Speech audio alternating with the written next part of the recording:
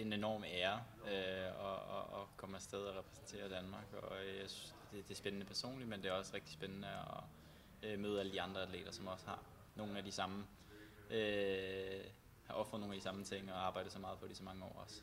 Jeg tror, det begynder at gå lidt mere op for en nu, når man står i tøjet og møder de andre, man skal afsted med, og, øh, og så har der været pressemøde, pressekonference, så det begynder lidt stille og roligt at gå op nu, men det kommer nok først helt til at være en realitet, når, når vi er der, og man forstår det 100%. Ja. Jeg tror, det bliver, det bliver spændende. Det er en konkurrence som alle andre, men samtidig er det også noget, noget andet. Med, så det bliver nok en, en helt anden speciel følelse, som jeg glæder mig til i hvert fald at opleve.